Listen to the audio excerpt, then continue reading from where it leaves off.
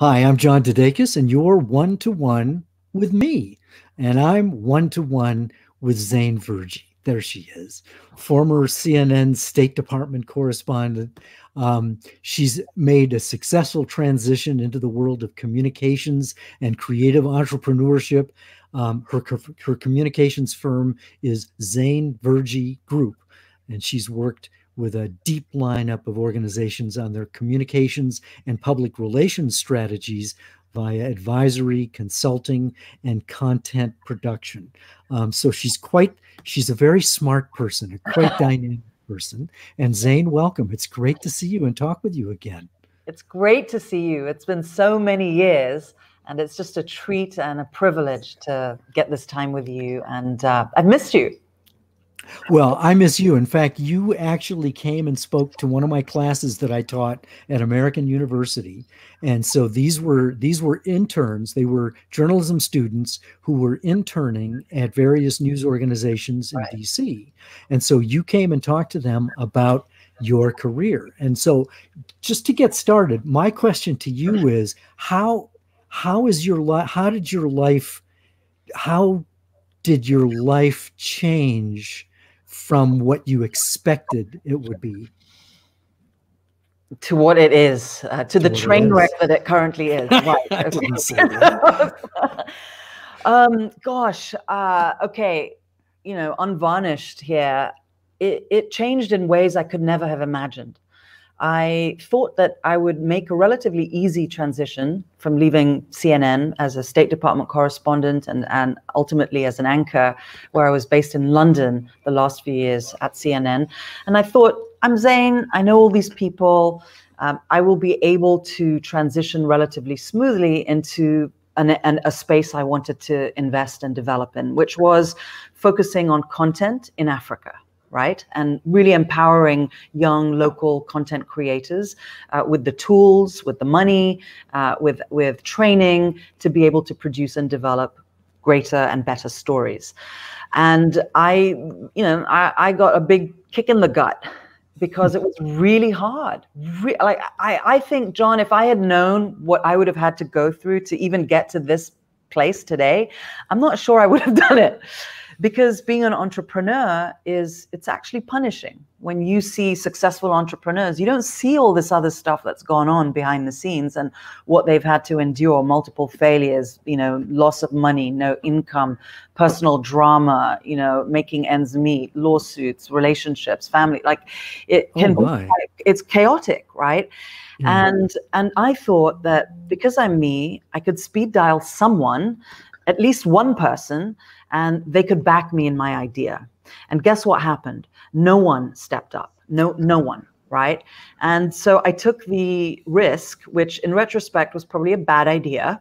And I fully self funded my own venture with a co founder that I partnered with, uh, also former CNN and Turner and uh, head of product. And um, we, we built a company called Akoma, which was focused on Africa and developing storytelling on, on the continent, which is 54 countries. So that's a big problem that we had to solve right there uh, with a market that we, we knew existed, but a business model that was untested and which we pursued. So you know that, you know, after being on the Situation Room and all the producers and, and you and, and copy editing and Wolf and, and everybody is there to support you to be successful. So now here I'm in a scenario where there's there's no investment cash, no backup, and just me and my business partner, Chidi. And I had to learn and do everything, understand how business models work, not to be nervous in a room when I'm asking for money, even just like asking for money, you know, that was hard. Yeah. Um, yeah, so so it was extremely hard. It continues to be hard. Um, I just have learned to adjust better, and I am happy in what I do. I have to admit, though, it's still a struggle. Well, now you didn't, I mean, you didn't even start out go, to go into journalism when you were a kid, right? No, I always wanted to like work for the UN or something, maybe something in environment and gender, which is what what the track I was on uh, was was to take me to. Uh, and then I just fell into it. I fell into it after volunteer uh, volunteering on a radio station in Kenya, in Nairobi, the capital, Um, and they needed somebody to read the traffic and travel news updates. And my dad was like, "Cool, call this friend of mine who's you know doing something at this radio station. Don't just sleep all day, you know, this summer." And so I did, and and I and I had little walkie-talkies, and I was like, "Charlie zero, uh, Charlie one, this is Charlie zero. Come in. What's the traffic like?" And then I would go on air and I'd read the traffic. Then I ended up doing the love show at night called Love Lines, and I became a radio DJ. And I learned that I could just talk a lot on and on and on. And I seemed to be quite clear in front of a microphone as well. And I realized. I, remember, I think I remember you telling the class. I think I remember you telling the class that the, uh, the, the the traffic that you were doing right. was really yeah. boring because yeah. it was like, well, it's busy. It's it's busy and moving. It's, moving and and and this is not busy. This is busy but moving. This is busy and moving. Yeah, yeah, good memory. Yeah, that's exactly right. And then and then I evolved after the embassy bombings uh, in Nairobi and Dar es Salaam because the radio station was downtown and over overlooking the U.S. embassy. So on uh, was it August seventh at like 10:30 in the morning there was this boom and the building shook i was in a building on the 19th floor of Lonrho House in Nairobi. And that actually triggered a move into hard news. Uh, because then the BBC had want, wanted local uh, stringers to put together s- stories and, and do some reporting. And then I transitioned to the local TV network after that as well. And how long were you with CNN? 14 years. I started at 25 Oh man. And I left when I was 40. So Oh my goodness. Well, you, you are well preserved. like a fine wine. Yeah, Thank right, exactly. So um who so were you State Department correspondent right off the bat or how did this evolve? So when I came to Atlanta first as an anchor for CNN International, I had quite literally very limited experience on breaking news, live interviews, right?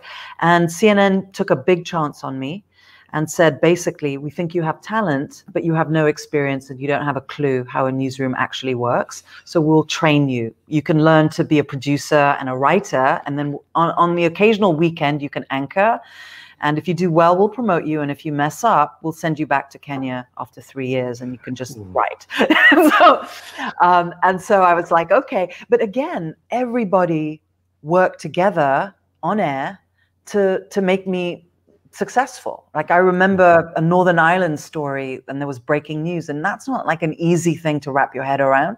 All, you know, all the different parties and the politics and people would be in my ear ask, telling me what question to ask, to relax, to okay, you know, say this, smile, to smile, right? And so I had a crutch. Like those early days, um, there was a lot of uh, support, and even one of my anchor friends, that you'll know him, Michael Holmes, um, sure. and and they all ha- they were like, listen, don't worry about breaking news.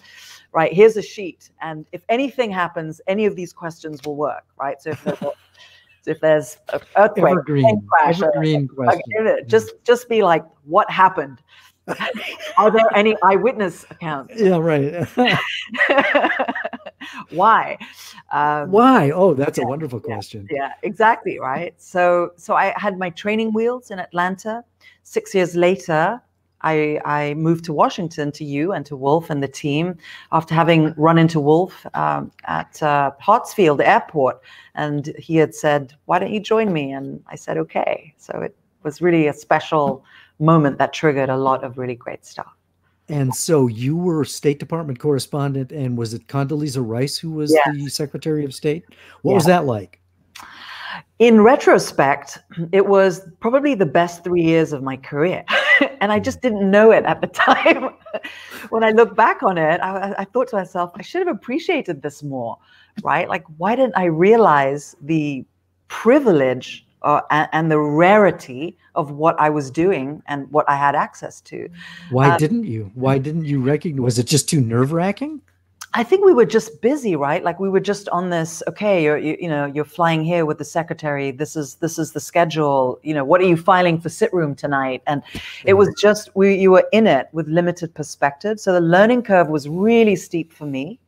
as a beat reporter, which I had never been, uh, for CNN Domestic, uh, and you know, with the main political show coming out of Washington.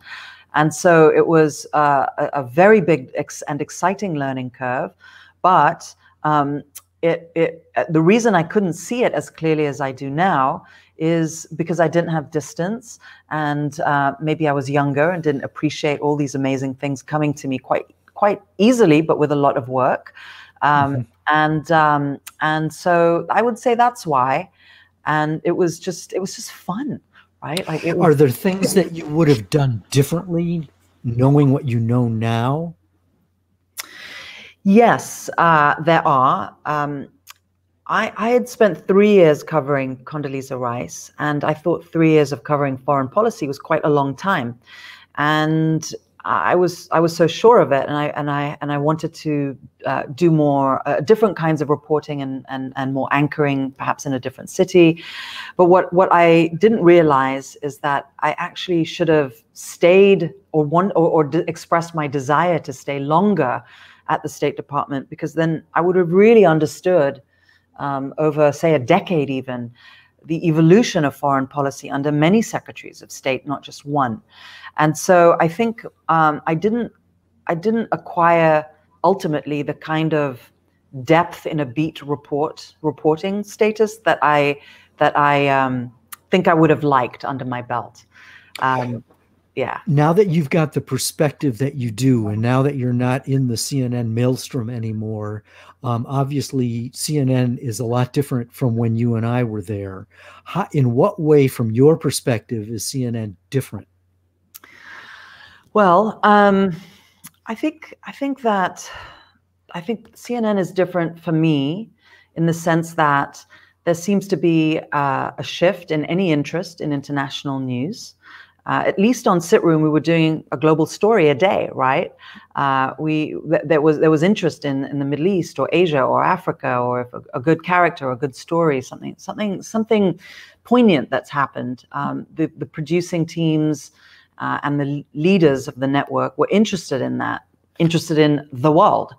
So I think a big shift is is that that's changed, and there's just more domestic interest um, and an overly uh, hungry Trump appetite. Uh, I do think CNN, you know, bears responsibility uh, for uh, you know uh, for the for the election of Trump. Because Why do you say that? Because of the amount of airtime, right? Um, I do think that there. I, I mean, I I wouldn't say it was the only factor because there were clearly multiple factors at play. Uh, but I was disappointed to see that much airtime, and even now, uh, to uh, to only Trump at the time of the election. So I, I, I think that um, the, uh, the, the the coverage of the White House and the president is is important, obviously, but it's been at the cost of global news that is relevant. Um, I also think, you know, on some on many shows, not all, the the, the shift toward opinion, I don't really like. Right, so it's uh, you know uh, it's it's become it's become less of a neutral uh, or, or I know there's nothing as objectivity, but there's a, there seems uh, a, a, carte blanche uh, for certain anchors on prime time to just say what, whatever they want with no holds barred, and that's encouraged. So I, I don't I don't really like that. Why uh, not? Um, because because I, I, it, it's taken uh, the hue of an unhelpful opinion. There's helpful help and there's unhelpful help. And I just think it's become more part of the noise than the signal, right? So if you have an opinion, like I'm listening to Fareed or someone, and there's a perspective that's sort of quite thoughtful, then I appreciate that. And I understand I'm coming to a, a show that, that is offering in this segment a, a commentary, right? Mm-hmm. Or framing the show in a commentary. Um, but I don't appreciate just like eye rolls and sighing and overt opinion and just like gossip, you know, just hyperventilation. Oh my God, what an idiot, right? Or you yeah. know, I, I I actually think that adds to the noise. I get that on social media. Um, I get that in many places. I get that at, over dinner, you know. Um, but I don't I don't want to get that when I turn on CNN. And and I think there's a little bit of a loss of um, of uh, you know caliber uh, in my view. Yeah. So let's but not transition. the situation room. The situation room is still At the situation room. The gang are, Wolf, you know, on point. yes. Wolf Wolf was probably the last of the old school, you know, yeah. just the facts, ma'am journalists. I mean, exactly. I worked with him for seven years and I have no idea what his politics are. And I'm, I, I would imagine that that's pretty much your experience as well. Yes, I, I do not know Wolf's politics. It's just straight down the middle. Um, people mm. ask all the time, what was this anchor like, or what was this one like, uh, Anderson or Christian, or you know, all of these things. But when it, whenever I'm asked about Wolf, what sometimes what I think about and what I say is that there's just you know never been such a classy gentleman uh, in news media that I ever met than Wolf, and so I, I hold him uh, in quite high regard. Uh, Yes. yeah. yes. Same here, and I and it's been pretty much universal in my experience with the people who's who have worked closely with him. Yeah. Um, so he's he's quite the champion of his staff. Well, we're um, the Wolf Pack. Yes, we're, we're, members of the Wolf Pack. He still hasn't sent us the T-shirts, though. I'm, it's been years we've been waiting. He keeps saying that, but I don't, I don't know. oh well. Um, let's move on to this whole entrepreneur thing. Um, and, and in fact, uh, you gave a TED talk once. And why don't you? Because the TED Talk really describes this transition to entrepreneurship. So, uh, summarize what first. What was it like to do a TED Talk? How did that come about? Was it nerve wracking? What's the experience? I was so nervous, John. Like I was like, I, I thought to myself, I've been speaking all my life uh, publicly, right. I'm, and I'm dying of nerves on this red dot and it felt like an enormous amount of pressure. They really get in uh, the, into the script and the in, evolution of the script and the, the, way you deliver and, and what story you're going to tell. And I was quite impressed at the the hands-on element of it. But I was sweating bullets basically. Um, but I was happy to have a platform to get the message out about what uh, what my experience has been. So, so it's um, yeah how long was, did it take how long did it take to uh, develop the the message and to you know to get it from you know the idea all the way through the the um, molding of it to actually the delivery of it?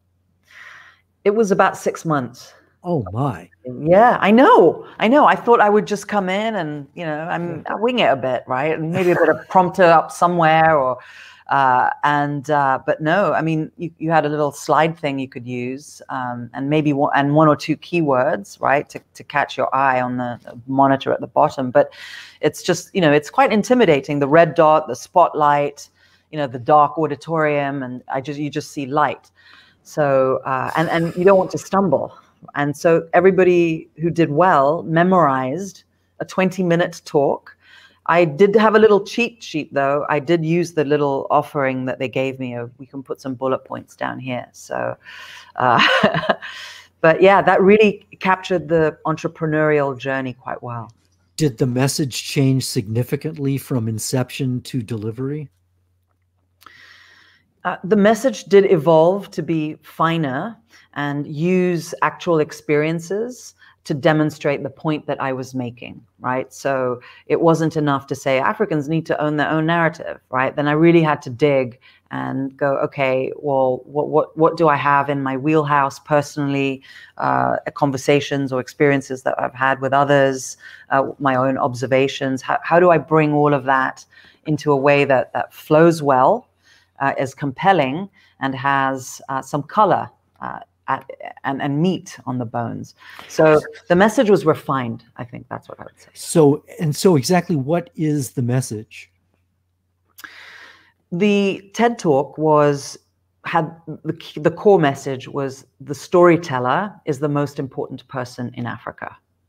And I went on to explain why. It's because it's the storyteller that sets the values uh, and the um, the agenda of a generation, uh, it's the storyteller that understands how to authentically tell their own local stories, right? And it's the storyteller that has the ability to uh, project their nation or their region or their continent soft power. And all of these elements are critical when it comes to storytelling on the continent. And it's more complex because you have 54 countries, 54 cultures, more than 54 languages. And you don't have um, a, a, market like, say, in the US, right? There's there's a media market, right? Um, you know, NB, NBC has affiliates. There's you know the main NBC, and the business is structured around that. The content and distribution is clear, right? Um, with and with providers as well, uh, Comcast, AT and T, Spectrum. Like we all understand how it works. In Africa, it's very fragmented, and it doesn't work like that. It doesn't exist like that, right? It, you you can't just say I'll national I'll broadcast continent wide and then build a successful business model around it. So the how do you solve the problem of monetizing a fragmented media market in Africa?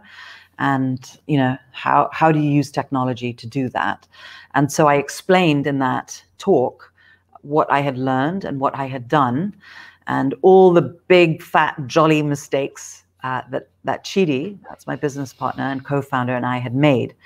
And we applied many things that were successful in the us to africa. They failed. And um, you know for example using branded content as a as a business model um, using storytelling instead of just an ad or you know no pop-ups and banners on our site. So um, uh, i also built a uh, I learned how to build a product a digital product and a platform. And so the message there was we we had the right problem that we wanted to solve but the way that we did it with the platform and with the business model was wrong.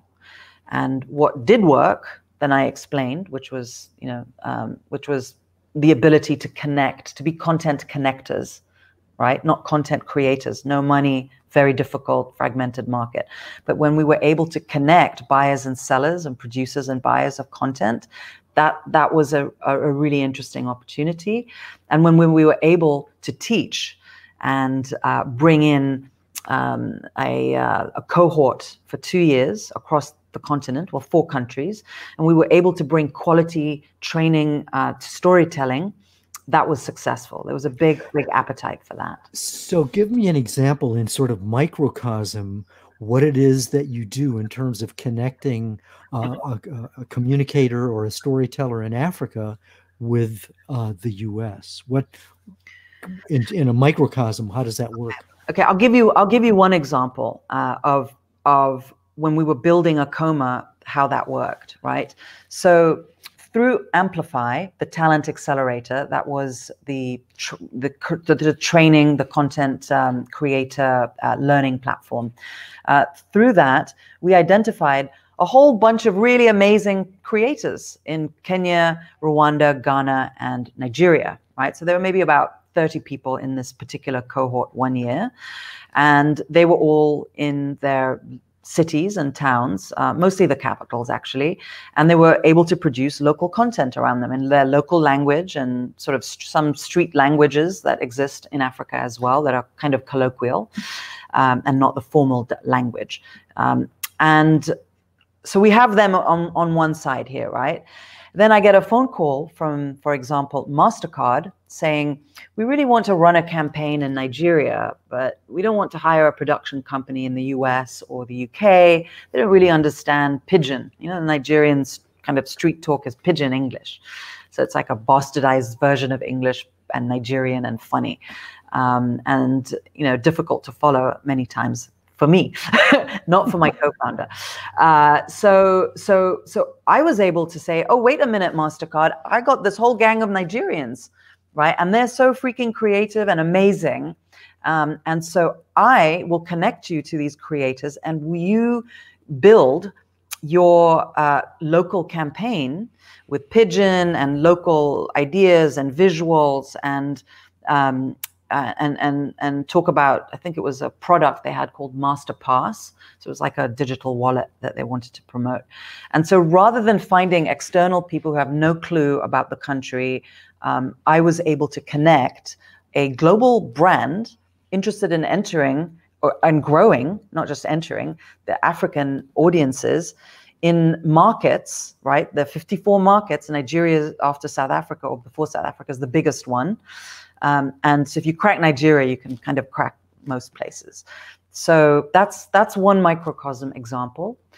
Um, I have to tell you though that Akoma, that company failed ultimately, and I had to shut it down uh, about a year and a half ago. So that was rough, actually. Mm. I, that, that was a big kick in the head.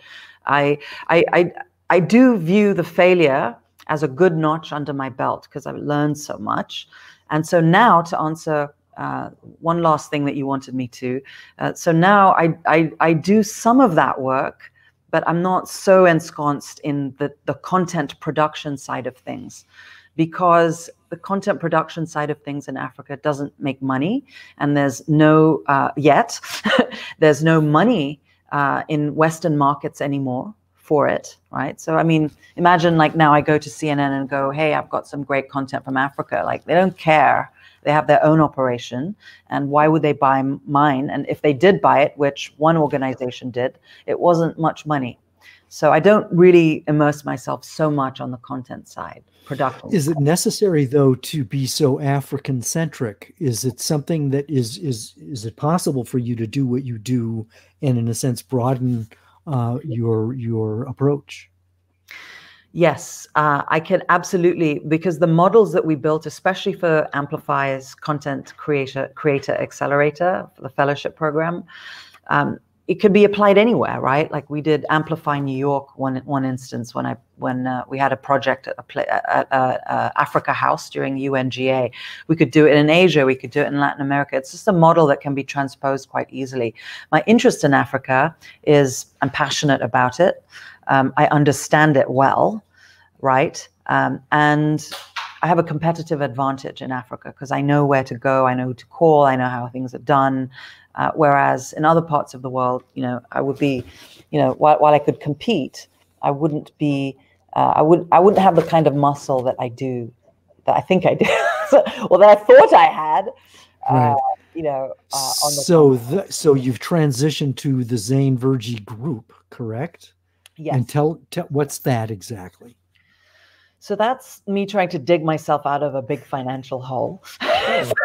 but other than that, um, it, it's essentially global media advisory work for emerging markets, whether they're countries, corporations, foundations, individuals. So you know, and it's still quite got a quite a heavy Africa angle to it, right? So so I I work with organizations and I advise them, you know, do it like this, do it like that. I have a good, as you know, Rolodex of, of people that I know around the world, uh, and just pitching people to be covered, right? So I, I, might pitch a story to the New York Times or to the Wall Street Journal because you know we have friends there, uh, mm-hmm. and or really try and advise on here's how you shape the story, right? Like it's mm-hmm. it's really this Zoom webinar is really not interesting. Um, you know, perhaps we should create an event. I got into the events business a lot pre you know COVID, and then that you know, that got a big bullet to its head. I had a big events year. I had a bumper events year, John, uh, in January. I was so proud of myself. I was like, yeah, finally, you know, money, right? Um, yeah. And it's something stable, right? It's been six years of not having that. Um, so, so that was tough. So, how do you, I mean, especially with all these challenges and setbacks, how do you philosophically or spiritually or mentally approach this and overcome it? What's the secret, or how have you dealt that's, with it? That's that's that's so great that you ask that, and close to my heart. Um, I, I really had a tough time. You know, I I just I struggled badly. And then my my business partner, co-founder Chidi, uh, who's a close friend also now, uh, uh, partner in crime, uh, got me into Stoicism and Stoic philosophy. And I read uh, The Obstacle is the Way, and I read um, Stillness is the Key. Where is it? Somewhere here. And then every day I read the Daily Stoic, right? And it really helps me. And I understand that I organize the world into what I can control, what I can't control. If I'm upset, I just wait before reacting. I ask myself, is this really necessary when you know when I when when when I have a packed day or I'm in an argument or I'm I'm annoyed or I want to do this or that. I wonder to myself, you know, it's not about getting lots of clients. I just want to work with one or two I respect and that respect me and that are good and where I can grow. So I, I I've learned how to organize the world into what can be controlled and what can't. And I've learned to manage my own philosophy myself with a very disciplined philosophy. And I don't get let myself get rattled like I used. I you know you know how you know how anchors and correspondents are. Right? oh, the diva, the, the, diva, the diva, the yeah. diva. Right. Well, you were never like that. Yeah. Okay. Not not as bad as some we know that shan't be named. Um, but but you know I, I did have a good sense of my own self and I, I am you know quite specific. I want things like this and that. And and so I've had to learn you know to slow down. I've, I've had to learn to accept things as they well, are not here's my question I, I mean I I don't know much about stoicism. I mean the only thing I know is that it's basically you know uh, uh, being impassive, I guess, and I'm, I, and that's probably not even close to what it is. So, what's the essence of Stoicism? For me, it's understanding that you can control only certain number of things in a day or in a month or in life and identifying what you cannot control is really important. So i cannot control how somebody reacts to something i propose or say. Uh, i can't control it if somebody has cancer. I can't and i'm upset. I can't control it if uh, you know if if if anything extreme happens.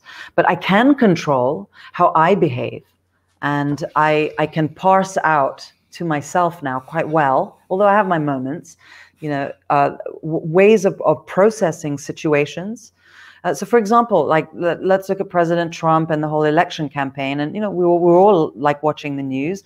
But i've stoicism one part of it is learning how to be still and you can't be still if you're constantly you know got notifications and you're on telegram and confide and whatsapp and text and email and i you can't do it. So i practically discipline my day that i am i my notifications are off. I'm not checking social media. I'm not watching tv except maybe you know i mean i don't even watch tv actually it's for netflix.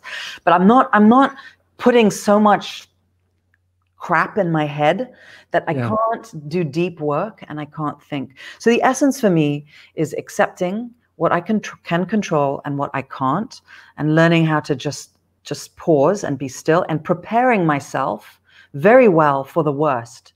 What's the worst? I'll die.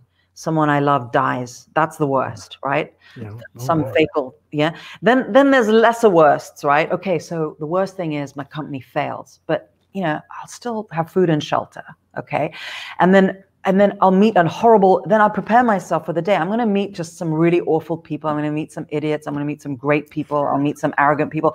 And so by the time I meet them, I'm already prepared. Like it's not a surprise to me. And, and so I'm, I control my behavior better with, with a bit more discipline. So I think, yeah, so that's what being an entrepreneur has taught me um, that, that I, if I can't manage myself because it's so hard, like like like so hard, as you can appreciate too, sure. um, you know, it's it, it it's um, then I then I, I I would have gone, you know, I would have had some kind of a breakdown, which you know right. I might have. Um, sure. And uh, and this has really helped me. So if anyone is struggling, I recommend the obstacle is the way. Now, is writing also therapeutic in your life? Yes. Uh, Is that a yes? we have a lot to discuss here now. Okay. And actually, it's it's when I we started talking again. I haven't written in a couple of years because of all this drama on the entrepreneurial side. I just was like, I, I just I don't have any creative thing left in me. Yeah, I'm just I'm just like trying to like mop the blood off the floor, you know, all day. Um, so so I I had started writing many years ago, and stopped uh, and and now I'm restarting. Honestly, John, like two weeks ago, I picked up some old when we were talking and you said take my course and you know i did a whole degree in creative writing right did i tell Well, you that? really? I, no, I didn't know that. I I- when I was C- at CNN in London, I applied to Oxford, and they had a two-year creative writing degree, and so it was a part-time thing. So I was anchoring in the morning, and then at Oxford in the afternoon, and then you know writing poetry in the evening, and then anchoring whatever breaking news was going on. so I I feel very happy when I write, and the pandemic has allowed me to go. Wait a minute, I'm not doing the one thing that excites me. So So the writing that you do is it poetry, journaling? Are you writing a short story or a novel? What What are you writing? okay, so I need your help now. I'm glad you asked this question. now, now I'm going to ask you what Oh, I'm geez. what I should do. Right? Go back to Oxford. Okay. Okay. no, I think now I've studied enough. I need to deliver something. Oh, Um, okay. So, so I have the following. Okay, I have a second draft of a detective novel done. That novel is problematic because two leading characters conflict too much and you can't tell who's the lead and it's a, detec- Mhm. it's a detective novel set in kenya and it's my favorite genre crime right Sure, sure. um, number two i have written a, uh, a children's book series about a, a young girl's magical adventures in journalism and that is what i chose to start with Is this based on you? it's a little based on what me and what I've learned. Yes, so it's it's good. more like more what I've learned in, in it's a way to teach journalism, right? So you're learning, right? But then you've got this character, right? Yep. So some Yep. magic happens to her, and Yep. she turns into a journalist, and her dog becomes a producer. well, I know a lot of dogs that are producers. you know, I was thinking that I might get in trouble for that. Um, Anyway, so there's that, and there's there's you know the the first series is called um, you know she's on safari, and then the next one she's on a diplomatic mission, and she ends up in North Korea. Right? You're not but Zain, you're not describing any problems at all. These are great. Okay, What's the What's the problem? so uh, uh, and then and then and then okay and then there are a couple of other things like i wrote a play uh two a two-headed play that's just sitting there and i don't know what to do with it uh, it's like 20 minutes only and then i wrote a sitcom uh called uh what was it called oh, jeez, i forgot what it's called um uh, it's so memorable. Yeah. oh airbrush airbrush Oh, and that's a good. and it's, yeah. and it's it's about uh, a newsroom and the primetime shows fighting each other, but told from the perspective of a makeup artist. Right, right, Yeah. right. Yeah, yeah. All this stuff, and I've got a little journalism handbook. So the problem is, because there's always a problem, is that the novel, the the the plot does is not has having a problem. If I if I take away the conflicting character, then I have a the whole plot falls because Sure. everything right but Yep. the but the magical journalism piece the problem here is that um is that i don't know how magical to get and do, i do i create like monsters and myths and good ones and bad ones Mhm. why is this magic happening to this african girl uh, I, I don't I don't know yet. What what's like you know Harry Potter, right? We know why Mhm. he the magic happened to him, and we know that there was a portal on what was the platform? Five and a half, ten and a half, that half. So there Oh, was right. a, what was it again? It was the platform. It was the yeah, it was uh, the half right. right? So that's the portal into the magic. And so I am spending my mornings at 5 a.m., which is when I write for 20 minutes now, um, I, I, on sort of researching folklore and, and mythology and creatures. And, and I'm wondering, do I go into like that universe or do I just keep it as humans? And she just has some magic happen, but you know, there are humans everywhere and animals in this particular one. So I don't know what to do. And I don't Well, I mean, but you, you've done a lot. You've got a lot of creativity um, in a lot of different genres and venues. Um, I mean, what you're describing is the vexation of the creative process. right. That's a, that is a given, So- and it's a bunch of decisions that are made. But then nothing is etched in stone. You get to you know it's the steaming pile of clay, and then you remold it. You know, so how have you, I mean, you've become this amazing novelist, right? like I've, I've written a few novels. Okay, but you know, I appreciate how hard it is to even a get one word down, have it all make sense, finish it, rewrite it, rewrite it, rewrite it. Right, mm-hmm. like that's hard, and you've done a few. So, how I know I'm not supposed to ask you anything here, but if I may, if you'll allow me, um, yes, ma'am. Like, like what, I, uh, what would be your advice based on what you've learned as to how to navigate the struggle, so that the plot's down, but the the, the actual um, unique uh, aspect, the decisions you talk about. How do you navigate the struggle of a, the writer? Well, I think one of the ways you navigate it is through the stoicism that you've talked about, because there's only so much you can control. I think, though, what you're describing is uh, an, a world where you have total control. And that's what a writer, and so that's what makes it so vexing Mm-hmm. Um, but I think that the the and and I don't know if you experience writer's block, but mm-hmm. writer's block can be very paralyzing, and at its root is fear. Mm-hmm. You know, the fear of not getting it right or the fear of making a mistake. Mm-hmm. And I think that the way to burst through that is to recognize that yeah, you're going to make mistakes. It's not going to be perfect, but mm-hmm. you know, you you right. go forward and then and and you do that with your sort of right brain creativity and then you turn your left brain on and look at it critically to see if it works. Right. And so it's a matter of shuttling back and forth between right brain and left brain without getting paralyzed by doubt because that's really where i think people get tripped up the most is the the feeling that it's not going to be perfect. It's not and it's it's it's not but how how do you write? Do you know exactly where you're going at the end point of each chapter or the entire story you've already mapped out in advance which is what i did with a detective novel. I had this crazy wall of chapters like i knew where i was going. Mm-hmm. here i'm kind of writing it kind of as i'm thinking it. Well so what should i do? um, well, I mean, the, the, I don't I don't want to give you shoulds and oughts because what you're describing is a very valid creative approach. Uh, one thing I've discovered that's very helpful is procrastination. It works because if you're thinking of if you're thinking about your novel and ruminating, that's writing. You know, a lot of times people think, "Oh, I've got to write a thousand words right. a day, or I'm not a writer." No, you, you know, if you're thinking about it, that's fine. Right. Um,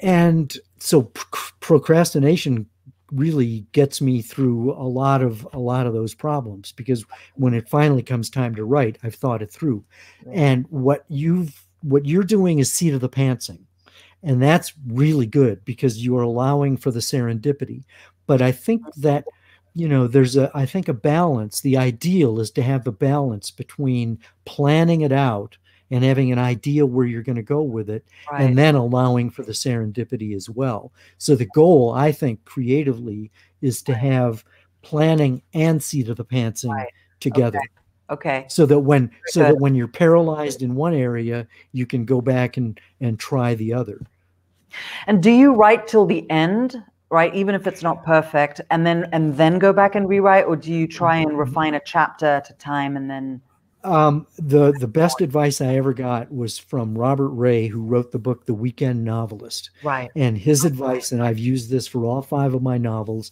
is to write it straight through and turn off your internal editor. Right. And I che- I cheat just a little bit because what I also do because I'm a congenital editor is I'll, I'll, I'll, i know where I'm I know where I'm going but I, will I'll sit I'll sit with a chapter for a, a, day or two, you know, and I'll do the proofreading and I'll copy edit a little bit, but. I'll rough it in so that it's acceptable, and then I'll move on. The goal is to have the forward yeah. momentum right. because the the danger is most writers I don't know if most do it, but a lot of writers loop back. They keep looping back to the first chapter, and right. they and it blunts their forward momentum. Right. And so um, um, maintaining that forward momentum is so important because you get to the end and it's done. It right. sucks, but it's done.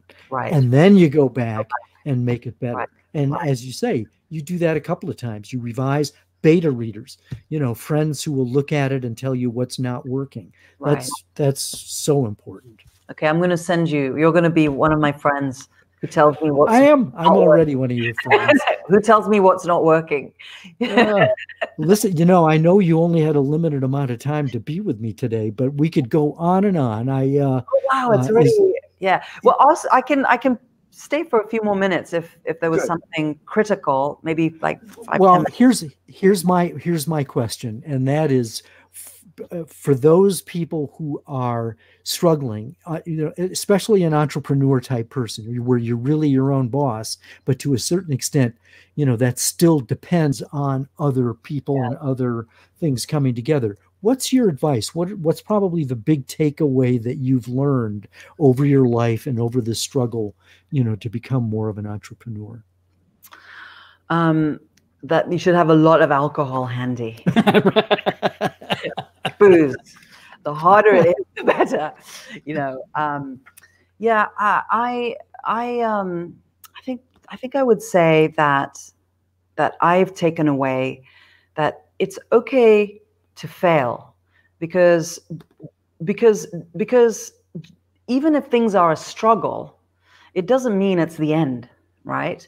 And I was so used to achieving things that when things were not working out, I thought, oh my God, this is what's happening right? And I've come to realize that that's actually not failure, that's growth. And that to be daring and to take risks is what this is entrepreneurial uh, life is all about.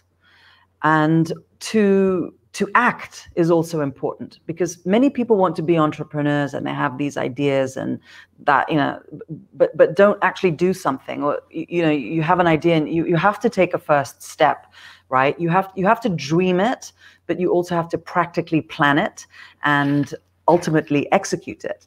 What I've also learned is is the ability to pivot, right? So, oh, that didn't work. Well, let's try this. Well, that didn't work, and let's try that. And so, never to actually be stuck to one idea and believe that I'm right. And I'm I'm always stress testing my idea based on what what you know what I'm hearing about the space I'm in, but willing flexibility. Flexibility. Yeah, sounds always, like yeah, yeah, always always adjusting um, and and uh, testing the product, testing the idea, and so I just I'm just excited that I've done this, John, uh, even though I've I've uh, said it was really really tough, but having a vision and having a dream or having having the inspiration to get somewhere is hard hard work and if you're willing to do the work and if you're willing to treat it like a marathon, you have to apply that vision with action. Um, so that's that's what I would do, even if it's a small step. You know, I read this book called The 5 a.m. Club, and it really helped me because it was like because it said, you know, do even if you make one percent progress that day, just write it down. What what percent? What what do you want to make one percent progress on? 365 days with a one percent progress, you can make a pretty big stride, right? Exactly. So or or you know a page a day. Write a page a day, right? And by the end of the year, you'll have a lot there of pages. Go. There you go. So that's that's what I would say. Um, okay. You know, um, if people want to contact you, zainverjeegroup.com, you'd have a, yes. they can contact you that way? They can uh, Zain at zainverjeegroup.com because ah, well, that's your that would be your well i can write that down. you just see my name multiple times everywhere. So it's zain at zainverjeegroup.com at zain i'm writing this down now zain group.com you can proofread it for me now. Hold on. I'll put and there Zain at zainverjeegroup.com. Always an amazing editor. There you go. it well, it's it's let's face it, it's a low budget operation. yeah, lots of things have become low budget here. Um, uh, you know, I wanted to just tell you one thing too is that a big game changer for me has been running right? Like i never ran ever in my life and the pandemic started i couldn't go to the gym which has helped me with mental health you know just exercising changing brain chemical when i'm strugg- when i was well, aren't the Ken- aren't the kenyans the fastest no. people in the world? Not this kenyan. Oh. This kenyan. This kenyan never has never run a day in her life. Uh, before March 2020, and I've only ever oh. really run if I uh, if I've been chased, to be honest, by an animal or a person. Oh, so oh I, I, have come to appreciate the meditative nature of running.